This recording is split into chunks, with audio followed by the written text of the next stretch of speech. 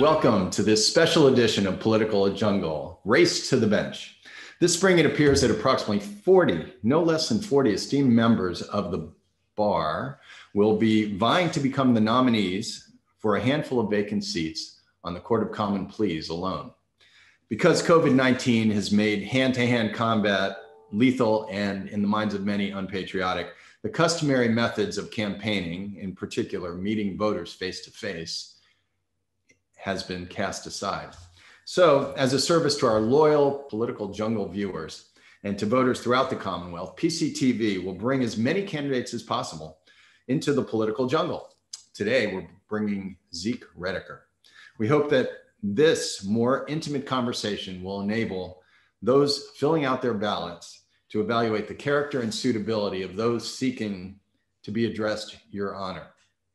All right, great. Zeke Rediker, welcome to the political jungle. Thank you, Steve. Happy to be here. Uh, I have watched so many episodes of the political jungle over the years that uh, the fact that I get to be on here with you today is a great honor for me. Great, great. Well, welcome to the Surf and Safari. We're going to have some fun today. Uh, and you know, Zeke, I've, I've had the pleasure of knowing you for a very, very long time, but uh, I want to make sure that the rest of uh, Allegheny County gets to know you uh, intimately. So why don't we start and, uh, and why don't you tell folks why you're running for judge? I'm running for judge because I, I really care about the issues. Um, I'm passionate about criminal justice reform and fair housing. Um, I've done a lot of pro bono work in both of those areas. I'm a community advocate uh, here in Pittsburgh. I'm a graduate of the Pittsburgh Public Schools. I'm an attorney at Reed Smith. I'm a former uh, federal court clerk, both in New York City and in Detroit. Um, and I honestly, Steve, I'm, I'm, I'm running because I'm passionate about my hometown of Pittsburgh. I'm passionate about the judiciary and I'm passionate about equal justice for all people, which is something that I think we really need in our country right now. That's fantastic. Uh, let's you just answered probably my first seven questions, but uh, let's let's go with number one. So you, you were born uh, and went to school in the Pittsburgh Public Schools, correct? I did. Yes. And interestingly, uh, um, you ended up being bused to school by you opted to be bused to school. Tell us about that. Yeah. So uh, my parents made the decision when I was in first grade to send me to East Hills Elementary, uh, which the school is closed now, but at the time it was one of the best elementary schools in the city.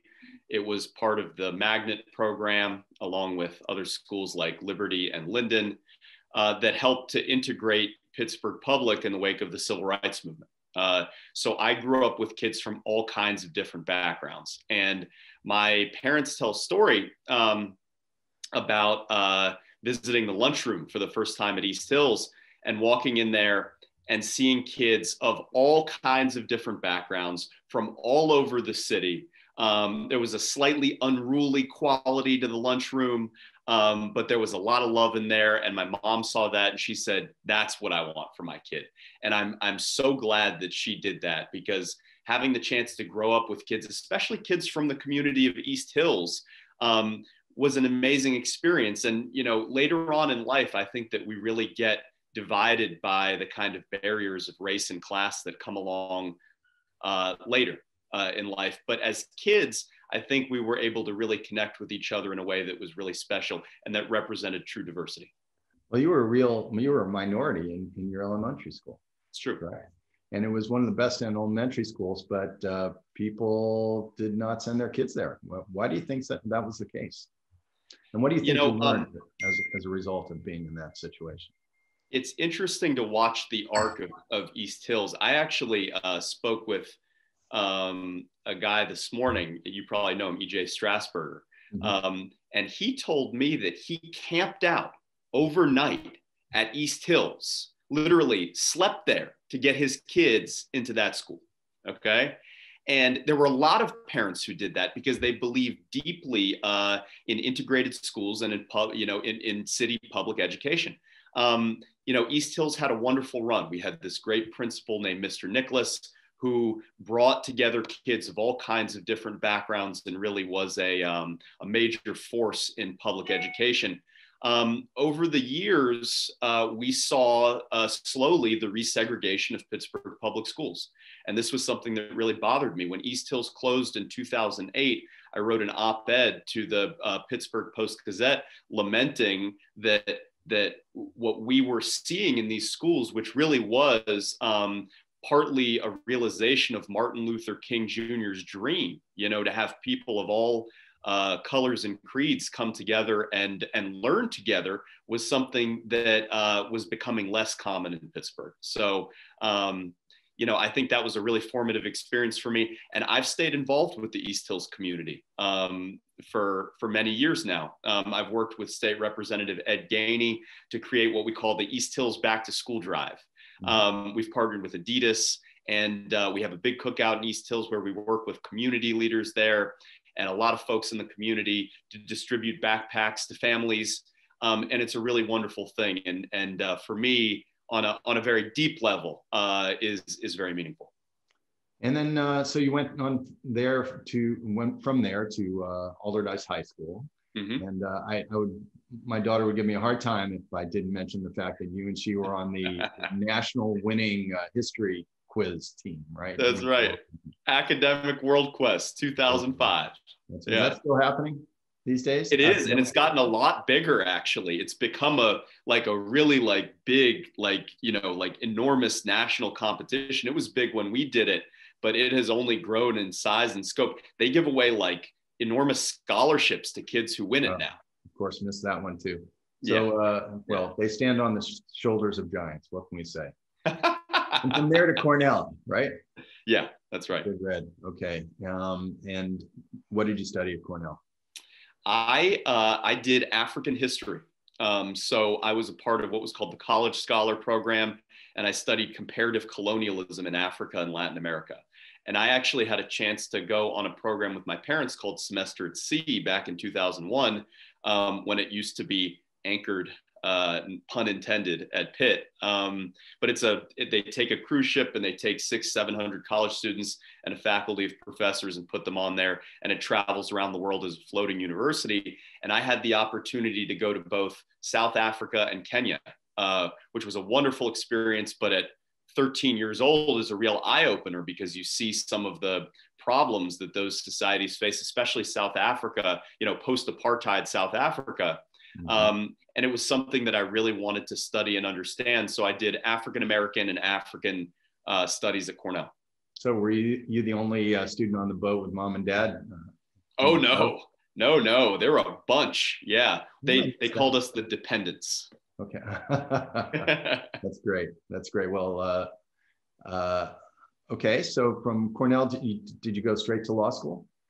I didn't. Um, my interest in African history actually carried me over uh, across the pond. So um, I was fortunate to get a full scholarship to attend the University of Oxford in England.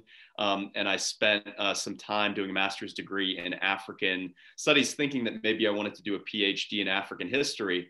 Um, and that was a phenomenal experience. But I ended up getting interested in politics and I ended up going to law school at Michigan, where I met my wife. And so very very much worth it at least from that from that regard it was all meant to be so really i mean you were summa cum laude from uh, from cornell and your your your parents are your dad's an academic uh, where did the law, lawyer thing come from uh, yeah I think, think I wanted to, I wanted, I was interested in politics and I wanted to do something that I felt like was going to be uh, practical, um, that would give me a practical training in um, a specific field. I wanted to learn a discipline. Um, and so I went to law school, and the first summer uh, after um, I was in law school, I worked for a federal judge named Jeb Boasberg in DC.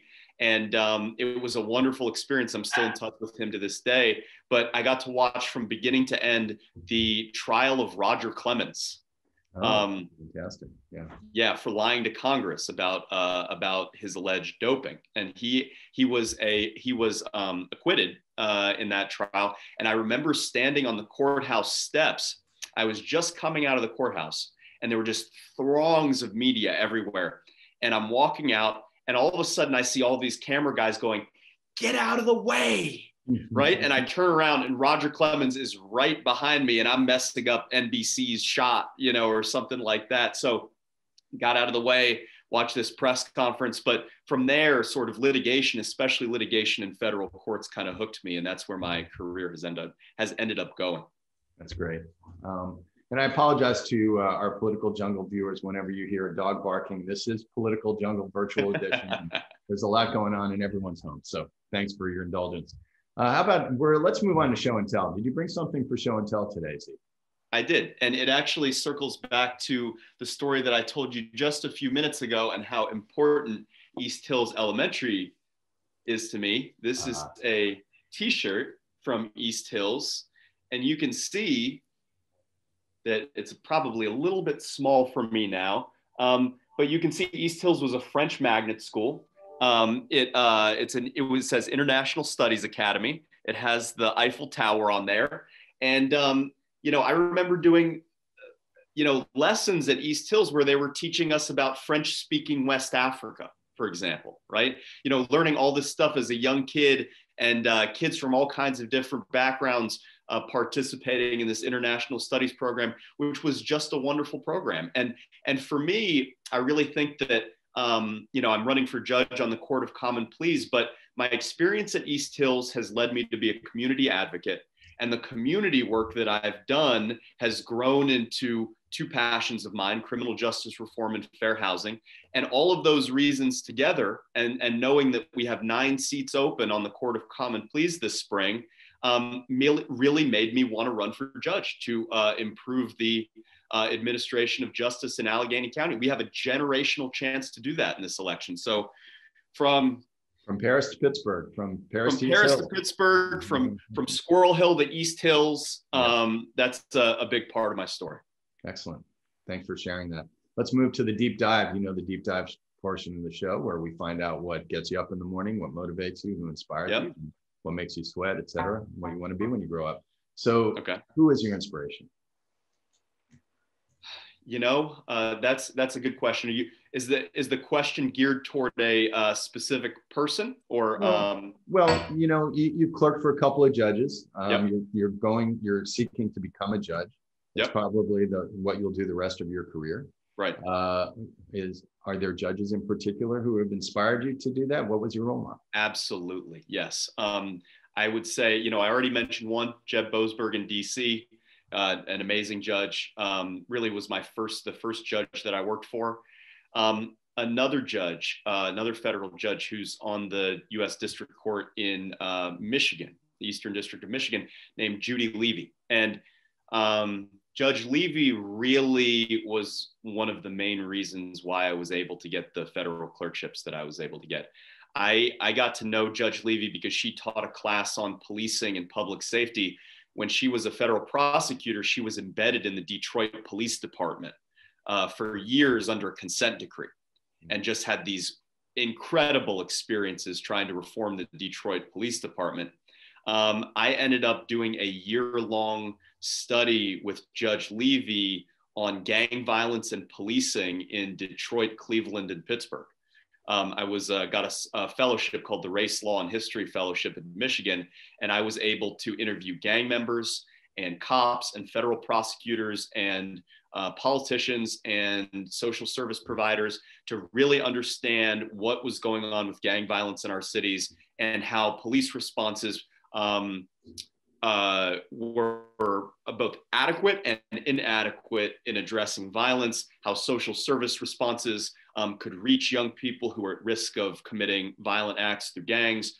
Um, or, or at risk for getting involved in, in, the, um, in the drug trade.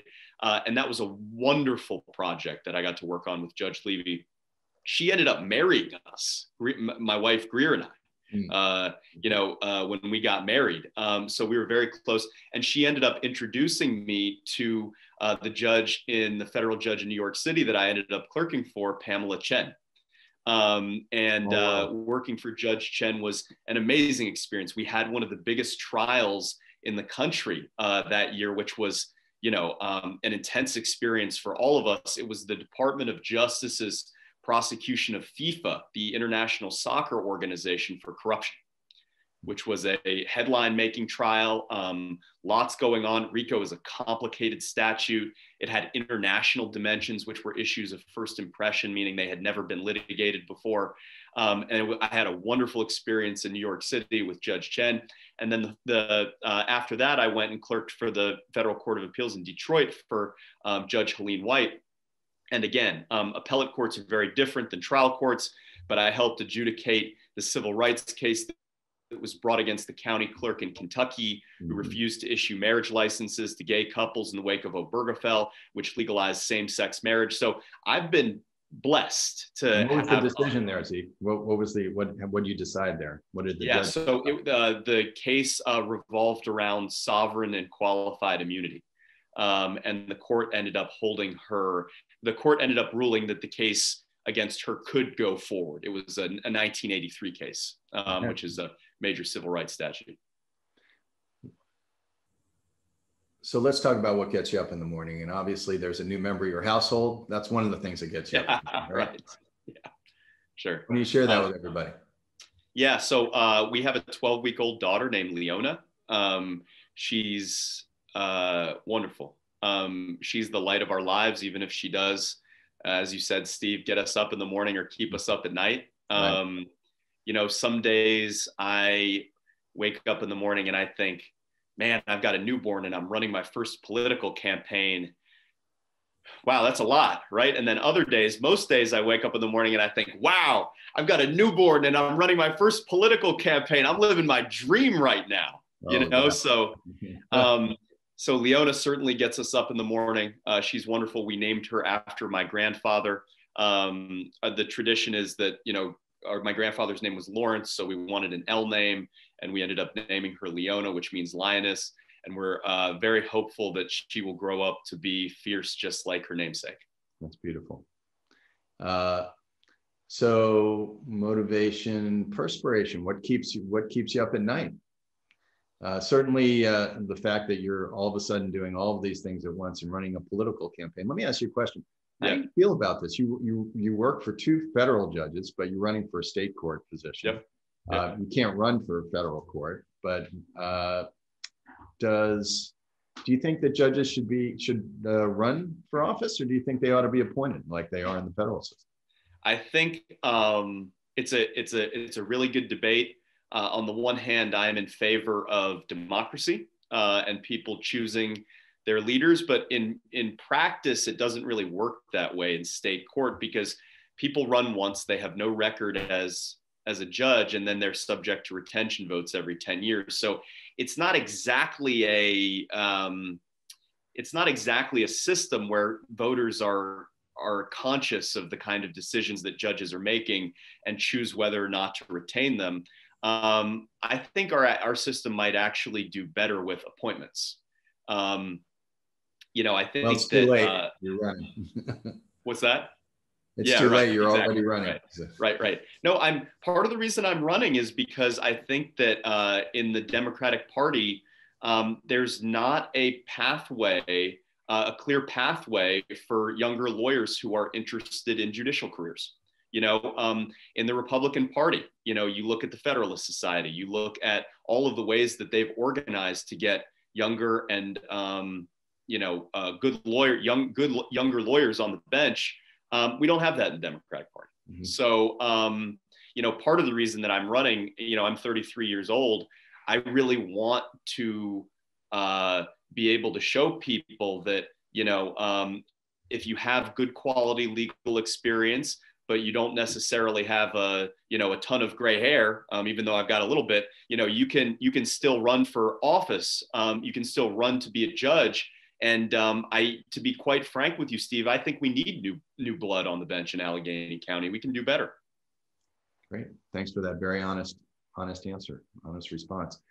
And uh, last aspiration: What do you want to be when you grow up? Obviously, can I tell you one more perspiration story? You can. Tell, you got one one more perspiration, but then you lose aspiration. No, go ahead, fire away. um, really, what keeps me up at night uh, you know, other than you know, uh, wondering how this political campaign is actually going, is um, the issues that the city of Pittsburgh faces. Uh, and one of those big issues is criminal justice reform. Um, I worked on a case uh, that got referred to us by a nonprofit organization started by two rappers, Jay Z and Meek Mill, that advocates for nationwide criminal justice reform. And it involved a man who, about five years ago, had been charged with assault. And mm-hmm. he had no previous criminal record and he um, disputed the circumstances. So, unlike a lot of criminal defendants, he took the case to trial. And right before the jury was about to deliberate, the prosecutor approached him and said, Look, if you agree to plead guilty to assault, we will advocate for you to get a probationary sentence. So, you know, what do you think he did? He took the deal, he went home to his family. Two years later, the prosecutor hauls him back into court, alleging that he's violating the terms of his probation. The only problem, Steve, is that his probation officer never bothers to show up to the hearing. So, um, you know, there was no admissible evidence that he was actually violating his probation. That doesn't stop the judge on the Court of Common Pleas from not only revoking his probation, but giving him five to 10 years in state prison. Okay. Our client sat in prison for three years before we got this case. And we came mm-hmm. on and we filed our habeas motions, which is a very complicated area of the law. We had a series of hearings in front of a new judge. And um, we put hundreds of hours in this case. And and, and when it was the prosecution's turn to respond, they shrugged their shoulders and they said, you know what, we're not even going to file a response. You guys are right. Right. After he spent three years in jail. Exactly. And Steve, we had this incredible moment where we knew we had just won our case and we knew how hard it was to win these cases. Yeah. But we were thinking, if we're right, why has our client been sitting in prison for three years? Yeah. Okay. We walked this guy out of prison and sent him home to his family, which was wonderful, but all the while knowing that he would never get those three years of his life back. Well, you know, you have a you did that at your law firm, uh, which allowed you to do that on a pro bono basis, which uh, really kudos to Reed Smith for giving you that opportunity. Yeah, but well, that's what keeps me up at night, you know, well, knowing that there's so many people in the system, just like the client that we represented, who probably should not be in prison right now. I hate to go from such a serious subject. no, hey, all good. the happy hour rapid response, which we're going to yeah. call the nine. Um, yeah. And the nine, of course, refers either to the Supreme Court of the United States, the nine, or the nine openings on the Court of Common Pleas. It's up to you to decide. Love that. Um, all right, here we go. One, Bears or Wolverines? Wolverines. Well, you know that the Bears, the Bears were were the mascot. You think it was the mascot for Cornell, right? And the yeah. Wolverines obviously are Michigan, and yeah. they shouldn't play football against each other. No, but they you know, shouldn't. you know that the bear? There really is no mascot of Cornell. It's the, it's the big red. The big red, yeah. The bear. They use a bear. That's the mascot, but there's no official right. mascot. All right, yeah. diapers, cloth or disposable? Disposable and I trust my wife. You know, she she get even though we use disposable, she's got a whole program of organic, biodegradable. You know, um, I think we're using some pretty good diapers, but I know that we throw them away. Okay, well, you know, as the former chair of uh, Sustainable Pittsburgh, I'm going to have to report you. No, it's it's all good. All right, number three, Goodnight Moon, or No, my first book of protest. Ooh, both good. Um, I am going to go with Goodnight Moon just because I grew up on Goodnight Moon um, and I know what a wonderful book it is. But we have a whole shelf full of books um, like uh, the Book of Protest upstairs. We got one about Ruth Bader Ginsburg. We've got one about feminist heroes. Um, so she's gonna she's gonna undoubtedly end up getting both. So yeah, so our readership knows it's not for her to read in five or ten or fifteen years. These are children's books that are very popular right now. Yes, uh, and I'm sure you got them as gifts. All right, number five uh, for Magna Carta or Magnet Charter. Hmm. I got to go with Magna Carta. Having uh, spent time in Oxford, right in England, I, yep. I wanted to give you that option, and uh, yeah. right. But you're you went to a magnet school. I did. East Hills was a magnet school. It was. Okay. It was. Um, and the two really are related. You know what I mean? It's uh, I've carried my East Hills experience with me for many years, and it probably, you know, trying to understand major issues of race and socioeconomic inequality is a major reason that I ended up uh, doing a master's degree in African studies at Oxford. Steelers or steel workers? That's a hard one. Yeah, um, I I worked at the Steelworkers, as I'm sure you know, um, and I'm proud of that. And I've got a real, you know, I with the amount of labor support that we've been able to get in this campaign, you know, because uh, we've got seven official unions endorsing us, um, makes me want to say Steelworkers, but I am a diehard Steelers fan, and uh, you know, probably more obsessive than even your average Pittsburgher. So that's a tough. That really is a tough one. Got to um, choose. Got to choose. This is what being a judge is all about, pal. Steelworkers. All right, there we go. Uh, four more. Trials or appeals?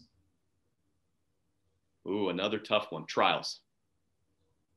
Good answer since you're running for the trial court. Right. All right. Um, I love appeals though. You know, appeals are, uh, you know, I really love the critical thinking and issue analysis involved in appeals. Mm-hmm. But trials, that that's really where my heart is. You know, I mean, this is the first line of the court system. Um, being able to, uh, you know, watch a lot of amazing trials, adjudicate a lot of amazing amazing trials, try cases over the years. Um, has been a wonderful experience, and I hope to continue that in my run for judge on the Court of Common Pleas. All right, now this is this is not fair because we only have a minute left, and I, I need quick answers on these last three. And I know okay. there's a lot more to talk about, but maybe people will meet you on the trail. Yep. Hopefully, with COVID. Here we go. Landlord or tenant? Can't I? You know, honestly, Steve, I can't pick one of those. It's a trick question. I get it. Yeah. um, I, I have done eviction defense in the past, but as a judge, I would promise I'd have to promise to be fair to both parties. Reasonable doubt or music to get murdered by? uh, reasonable doubt. Now, of course, for no our question. viewership who may not be in tune, Reasonable yeah. Doubt was by who's Jay-Z. album? Jay Z. Your Jay Z's first album, iconic, great question, one of my favorite albums of all time. Music to Get Murdered by was by. Do you know? I, I actually that one is unfamiliar to me. Ah, Eminem. Oh, okay. That must have been a later one then, because um, you know, I uh, you know, I'm, a, I'm an Eminem fan, but not like I'm a Jay Z fan. So I stick with my original answer.